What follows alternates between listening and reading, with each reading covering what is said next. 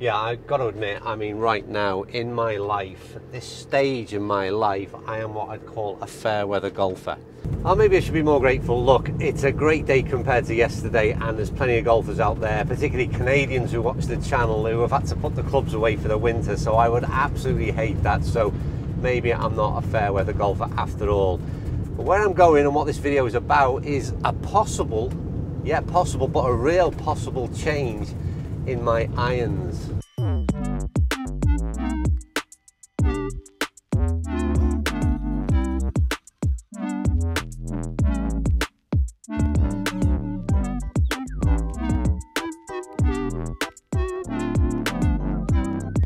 For those of you wondering, yes, they were sheep on the side of the road. The journey up to Holywell Golf Club, it's always an interesting one. Now, the idea of switching into new golf clubs to improve your golf game can be often very unwise. But having said that, I also believe if you get your golf bag set up correctly, then some clubs can have a profound effect on your performance. But what if choosing golf clubs to make the game more difficult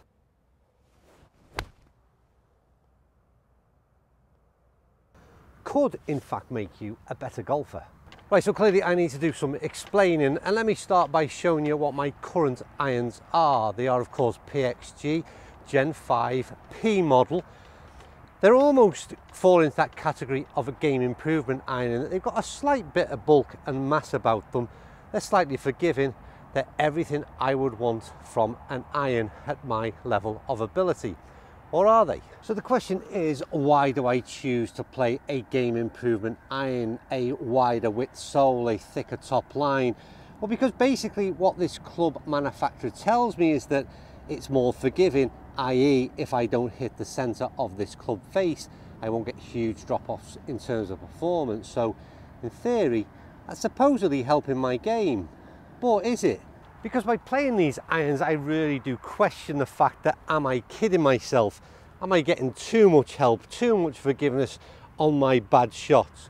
And should I be looking to change my irons based on that shot? The answer would be yes. You see, the irons I've been playing in recent weeks, well, they're supposedly at least not forgiving.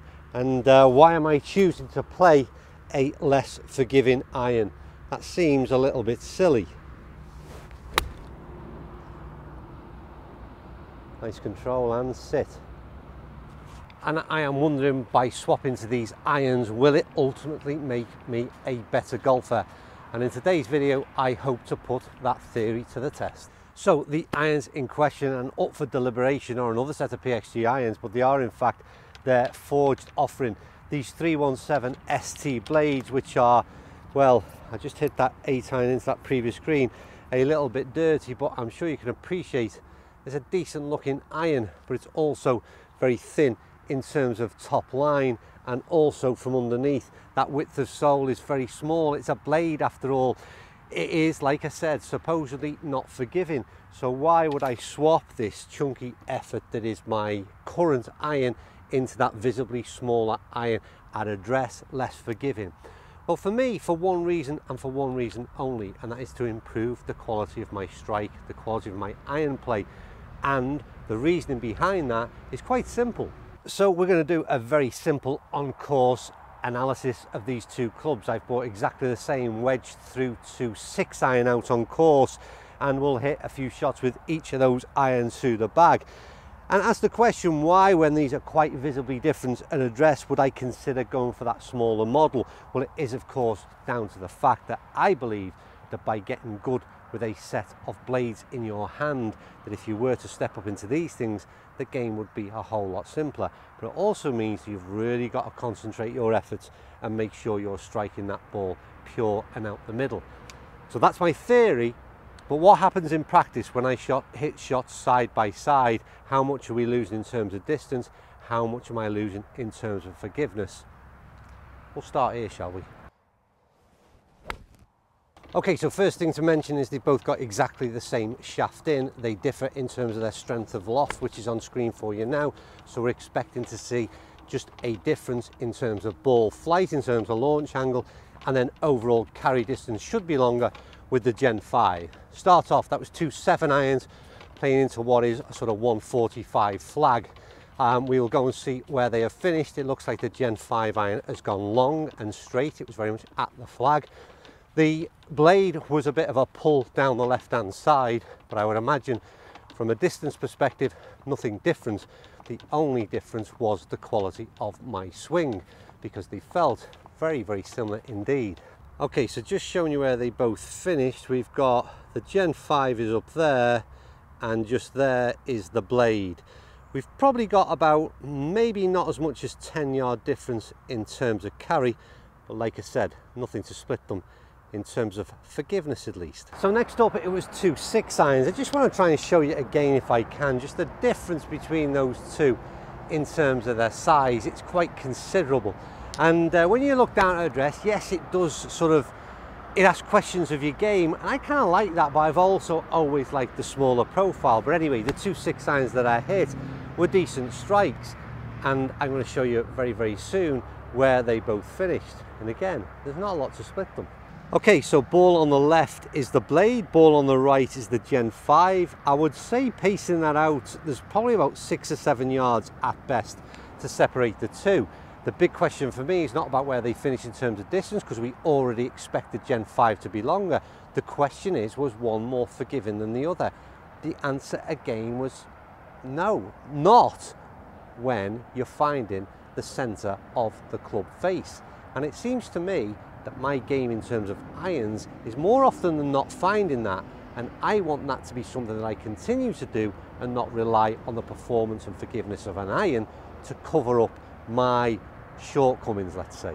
So how many of you have been in this predicament yourselves where you uh, maybe just challenge yourself, maybe it's just at the driving range with a, a smaller set of blades, an older style golf club, let's say, where it really relies on you being, uh, well, performing better than your game improvement irons might allow. Does that make sense?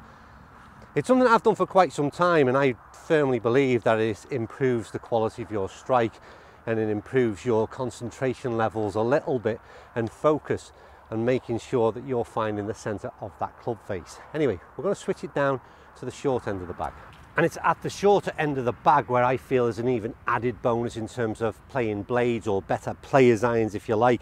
And that's because the sort of more compact style of head shape, for me, the pure forged iron, which these 0317s are, gives me the things that I want in the short end of the game, which is incredible feel, the more compact size and profile, the more refined head shape gives me that bit of finesse that I'm looking for around these kind of things. I don't really want to be swinging some big club at this kind of shot, whereas in the long end of the bag, maybe that makes a bit more sense. And really what that should translate down to it's just great. It, it, well, first of all, for me, it gives me confidence. That's pin iron a really decent shot. I, I, don't understand why, and I never will understand why I get more confidence out of playing blades in many ways than I do out of playing what you call game improvement irons. Certainly at that short end of the bag. And I've done this for multiple years now, whereby I talk about mixing sets up and playing players irons down that short end of the bag and then going into game improvement irons in that long end of the bag. And maybe, maybe that is a solution. And you know what, I'm going to end the video there because I've played a long iron, a mid iron, we've played a short iron. There's nothing much more to cover. What did the video find out? Well, hopefully what it explained, well it did for me at least anyway, was the fact that forgiveness is only an issue when you're looking for it on when you're off-centre hits. That's the first thing. My strike with irons is, I think, the best part of my game, and I think I do find the centre of the club face more often than not. And therefore, the thing that the game improvement irons that Gen 5 give me, I don't really get the benefit from because ultimately I find the centre of the club face more often than not. I still believe that I would want more forgiveness down the long end of the bag and maybe that's where these kind of uh, the idea of that split set is an ideal scenario but I would certainly happily make the trade-off in forgiveness for feel and finesse down that short end of the bag and what I found today is that 0317 certainly from 7 8, 9 wedge. Looks stunning at address for me, on my eye, and the feel out of them is absolutely superb. So I think for the time being at least, we will carry on with a bit of a mix set maybe. and I'll see how I get on and whether or not that's something we take forward into the new year. But for practicing through the winter, I certainly don't think it is going to do me any harm. But what I want to know is will any of you consider doing exactly the same? Right, that's me done. The one thing I will say is I cannot believe how dry Holywell Golf Club is right now. Uh, so if you're looking to play some winter golf in North Wales, make sure you get down to Holywell because I'm playing in the field as they call it and over on the sort of more Heathlandy Links side is absolutely bone dry. Really surprised considering just how much rain we've had over the last few days. So yeah, come along, join me, get yourself to Holywell Golf Club. Anyway, I'm going in now for a warm and a brew and I'll see you soon.